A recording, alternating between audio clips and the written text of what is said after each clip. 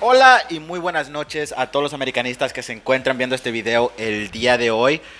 Hoy, viernes 9 de octubre del 2020, tenemos muchas noticias de que platicar, incluyendo una que podría poner fin a la carrera de Nicolás Castillo en el Club América. También vamos a, tocar el tema de los lesionados.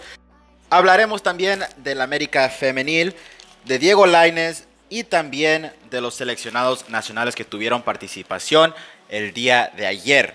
Pero bueno, ya sin más preámbulos, empecemos con el video del día de hoy. Hoy viernes, América sigue monitoreando a sus lesionados, que son prácticamente cinco. Tres al parecer ya están recuperados y hay otros dos que están lesionados aún y siguen en duda para el partido ante el León. Y de hecho, hoy Benedetti, Sergio Díaz y Paul entrenaron al parejo con sus compañeros y parece ya un hecho que podrán estar contra el León. Obviamente Sergio Díaz ya entrenó el día de ayer al parejo, pero querían calarlo otra vez de nuevo para ver si tenía otra molestia o cómo iba progresando, a ver si no recaía en su lesión y al parecer no es el caso. Está bien Sergio Díaz. Benedetti obviamente jugó sin ningún problema y Paul ya está recuperado de su lesión en el tobillo. Tocando el tema de Benedetti, como él lo mencionó en su momento, solo fue un dolor de un golpe y no hay de qué preocuparse. También el América no estaba tan preocupado. Obviamente los estudios que le hicieron son mera precaución. Si no lo usaron en los entrenamientos, entrenándolo al parejo de los compañeros, obviamente era para cualquier duda, para evitar una posible lesión más grave. Afortunadamente no fue así. Benedetti está al 100% y entrenó hoy sin problemas. Los que siguen en duda son Cáceres y Aguilera. Lo de Aguilera ya se sabía, pero me extraña lo de Cáceres. Al parecer no se recupera del todo y él es una de las dudas para el partido ante el León.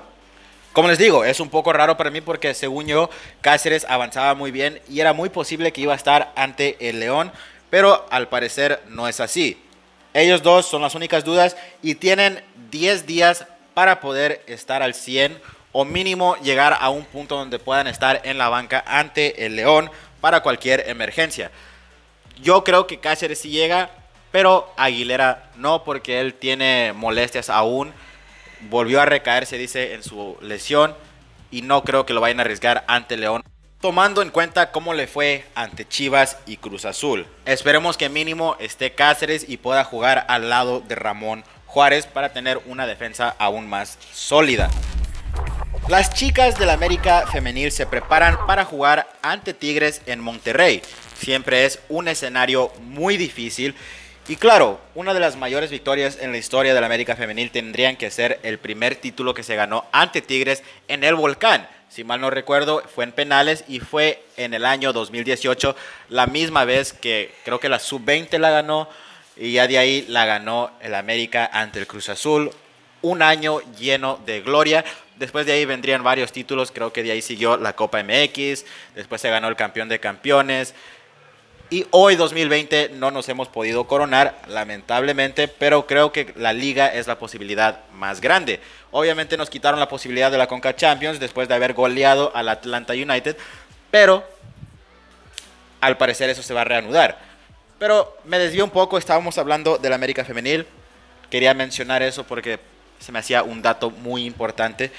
Pero se le ganó a Tigres en esa final.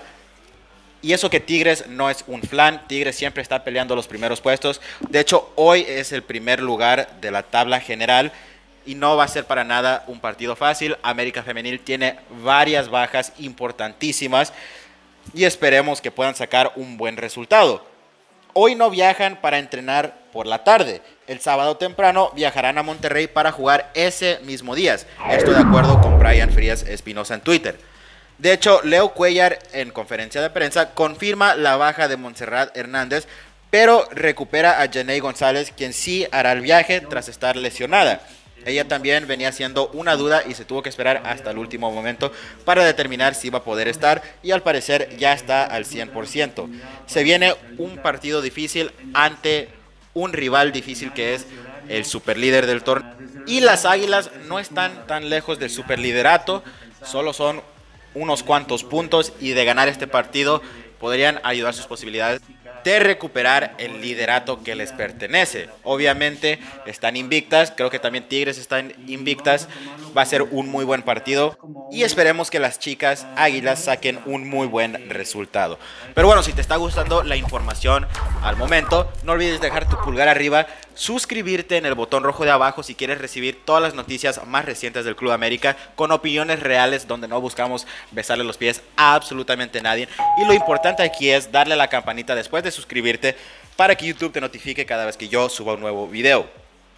Y la oferta sigue latente. Si tú sabes de computadoras, si sabes cómo programar una aplicación en Android o en iOS y quieres colaborar conmigo o trabajar conmigo, serás recompensado. Solo me tienes que mandar un correo negocioslayuntv.gmail.com Ese es, no me mandes correo para ninguna otra cosa. Hubo alguien que me mandó un correo para decirme que tengo un buen canal.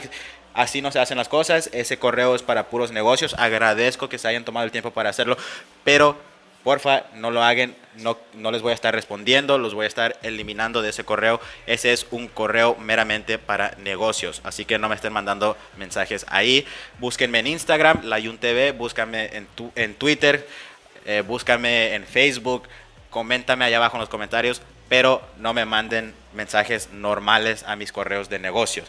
Así que eso ya sigue latente. Si quieres participar o si quieres trabajar al lado mío, serás recompensado con dinero, obviamente. Y pues bueno, fue todo. Mándenme un correo en los comentarios, díganme si quieren trabajar conmigo y podremos negociar algo. En el video del día de ayer les dije a ustedes, como parte de la trivia, que me mencionaran quién fue el goleador del Club América en el campeonato del 2018. Obviamente me refería en el torneo general, varios de ustedes dijeron Oribe Peralta y esa es una respuesta errónea. La respuesta correcta es Bruno Valdés. Así es, nuestro defensa fue nuestro goleador de ese torneo y la verdad es que es algo impresionante. Bueno, el torneo de Bruno ese año fue impresionante y hoy, si mal no recuerdo, está a punto de romperle el récord a Alfredo Tena de más goles como defensa central. Así que tres de ustedes van a estar apareciendo en el video del día de hoy si la acertaron, pero no se desanimen si no aparecen en el video del día de hoy. Lo único que tienen que hacer para mañana aparecer es decirme a mí quién es tu jugador favorito del actual plantel del Club América.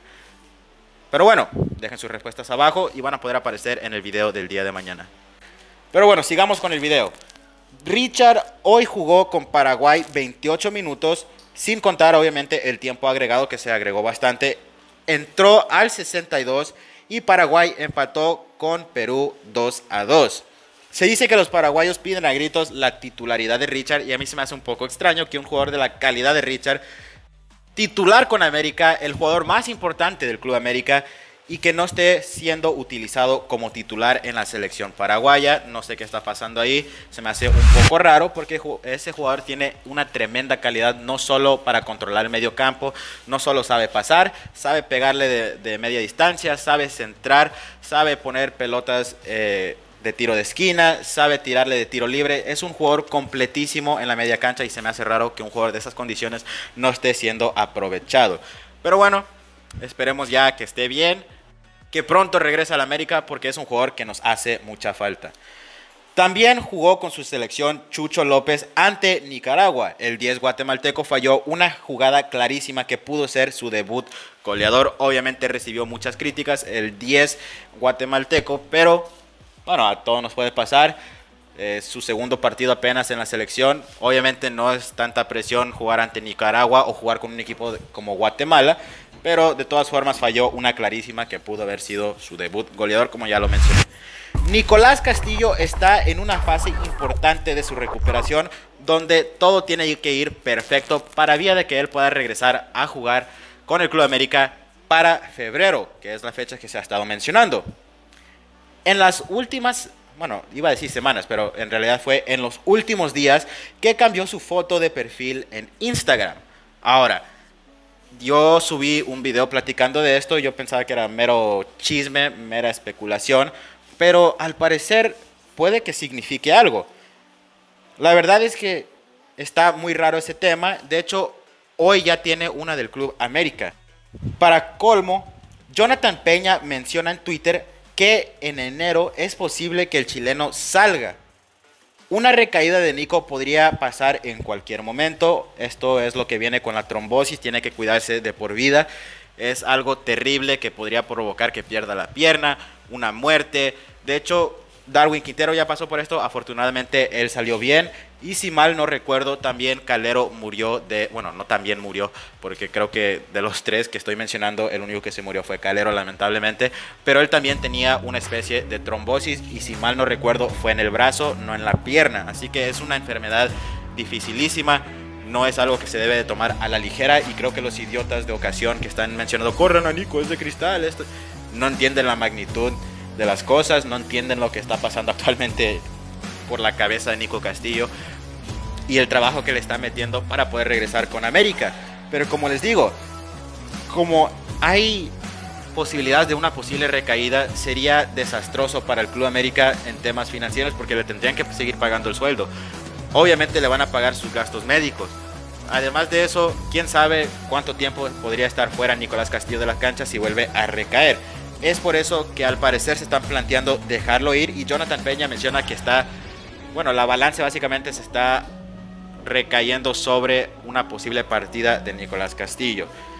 Quizás por algo cambió la foto de perfil y bueno, ya a lo mejor vio todo lo que se estaba diciendo acerca de eso y puso de nuevo una de él con la del América. Está muy raro el tema, estas dos cosas se vuelven a unir raramente y esperemos bueno, por lo menos yo espero que Nicolás Castillo tenga una pronta recuperación y que pueda volver a vestir la del América porque se pagó mucho dinero por él.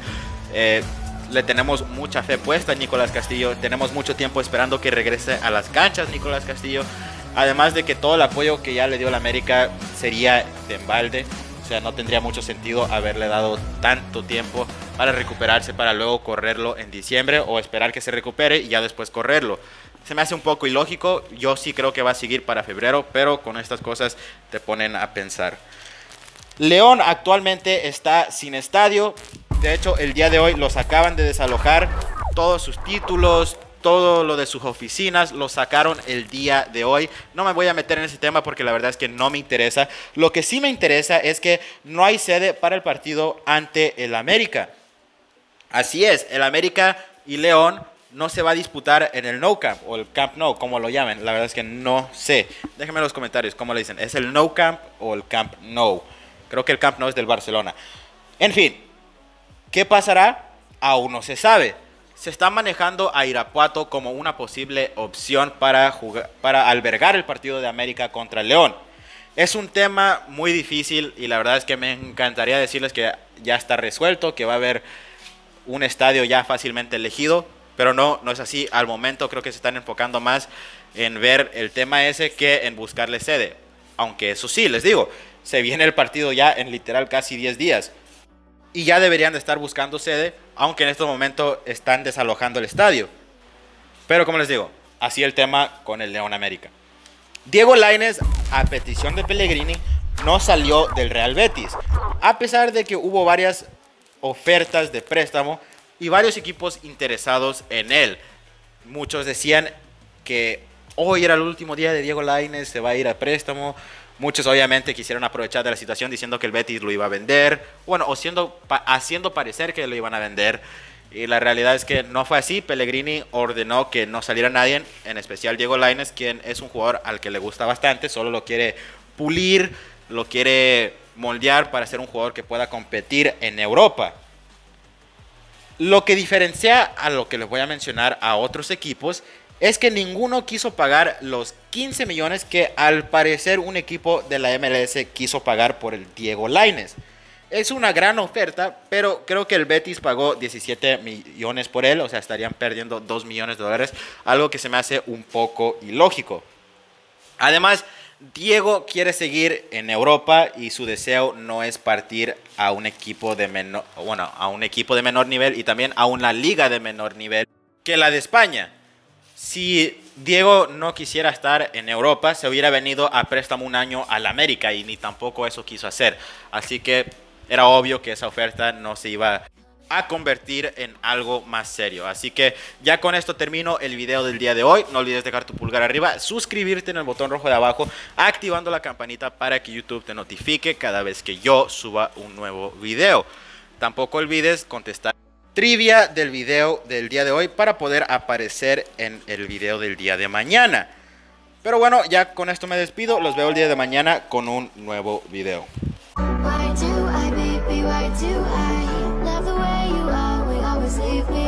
Why do I,